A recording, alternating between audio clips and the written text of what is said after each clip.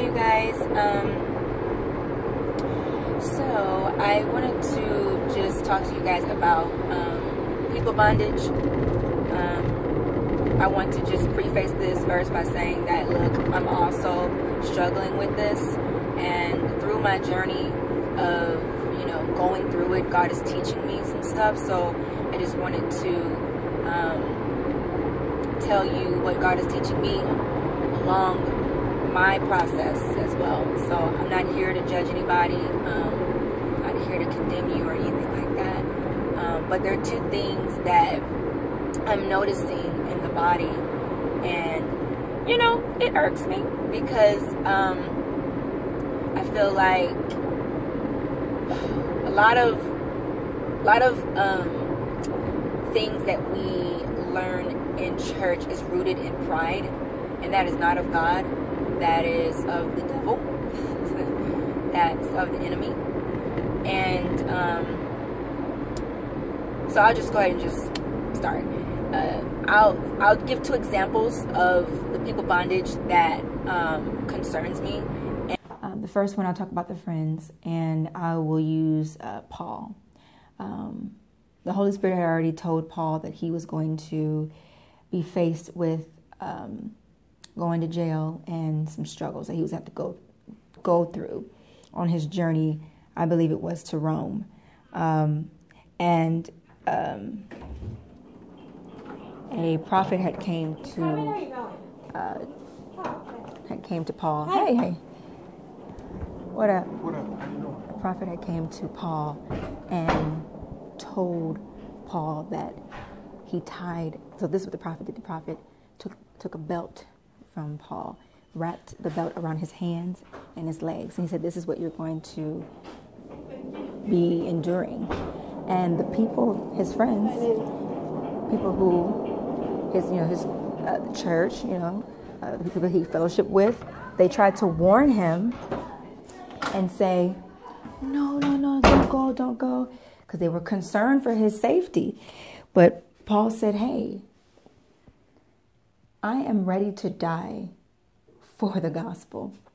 And I really do I really do believe that by the Holy Spirit Paul stated that. You know, how can this flesh be ready to die? You know, um, usually this flesh doesn't want to die. This flesh wants to live and and and I believe that by the Holy Spirit Paul was like, "No, I'm ready to die for this thing." And um so anyways, um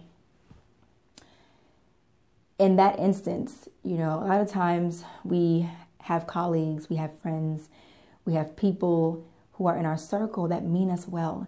And, you know, especially in the church world, we will hold our friendships and our relationships in a high regard. And sometimes, if we're not careful, um, if we're not careful, if we value um, their their opinion or their wisdom over the wisdom of the Holy Spirit, then that can be a hindrance of our growth.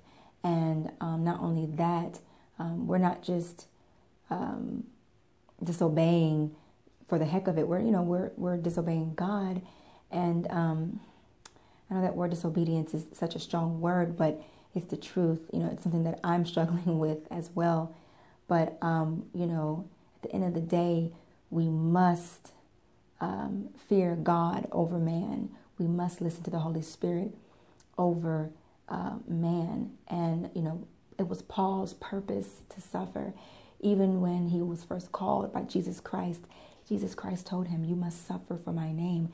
So Jesus already like let him know from jump what his journey um, um, as far as preaching the gospel was going to be. It was going to be a life of suffering.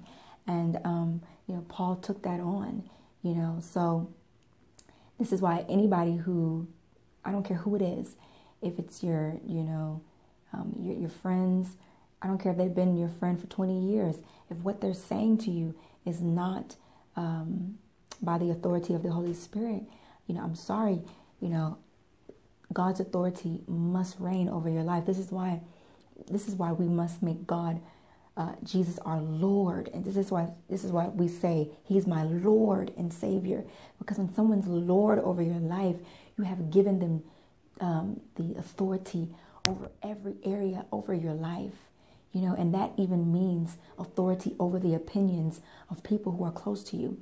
And I also want to do the the next example, which is um, your parents. There's a lot of people that I know that you know they're PKs. Um, they've grown up in the church, or their their their mom and dad has been a deacon, or you know, or you know, their parents or whoever um, is a prophet or whatever. And you know, yes, the Bible tells us to obey our parents, but we also have to read the Bible in totality and not um, exclusivity. We have to be inclusive and not exclusive when we read the Word of God. And if we read the Word in its entirety, the Word of God tells us, once again, that we have to uh, fear God over man. And if we're going to fear God over man, man includes your mother, your daddy, your grandma, your sister, your brother. You know, Jesus said, I have come to, uh, you know, to bring a wedge between uh, father and son, mother and daughter. This is what Jesus said. And, and what that means is he didn't come to cause division necessarily, but he has come that we, if it boils down to it, if we have to forsake our mother and our father to follow Christ, then the children of the Most High God, Jesus Christ, we will follow him above everybody. When, when, when, when, when the Word of God says, uh, my sheep know my voice, and a stranger they will not follow. And I'm going to tell you something. If your mom and your dad or whoever is talking to you, and you don't hear the voice of God in their lips, you do not follow them. They are a, that's a stranger talking to you because even if they even if you've known them, you know, your mom or your dad or whatever your whole life, whatever they say, if it's not by the authority of the Holy Spirit, that's a stranger talking to you and you do not need to listen to them. That is the enemy. The enemy is a stranger. He is not your friend. You know, he is not here to um, um, do you good. Okay, he does not want you to do the will of the Father.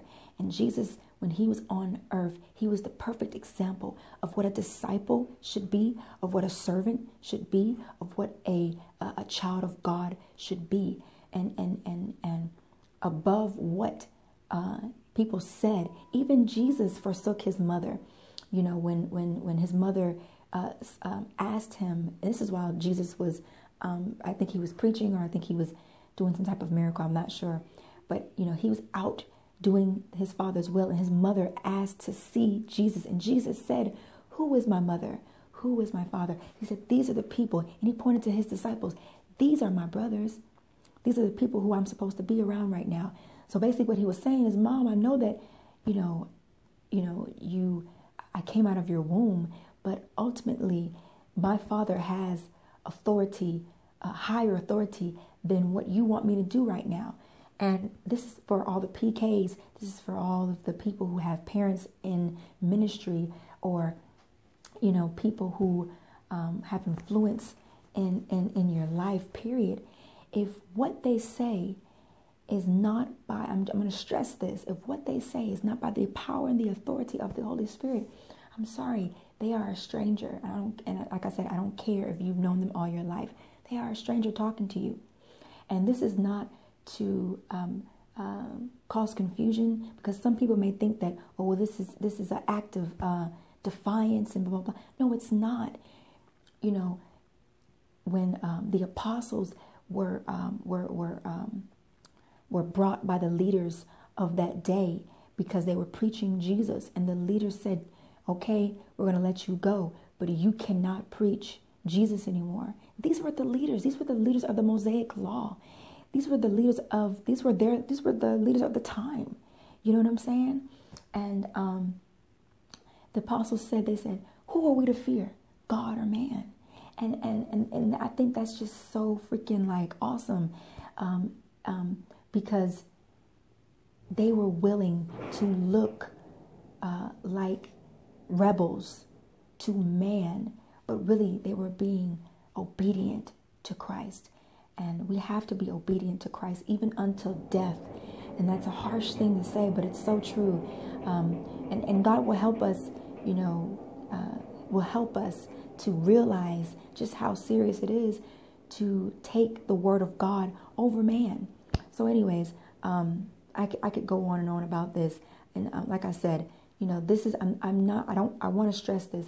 I'm not saying this to be just defiant, just, just, just because. No, but if you get to know the Father and if you read His Word and you see that there's somebody that's saying something that's contrary to the Word of God, then you may want to you may want to really consider going to the Father and saying, God, what do you want me to do? They're saying something that's against your word. How should I handle this? Let God reign in your life. Let his authority reign in your life. I'm not just talking to you, I'm talking to myself.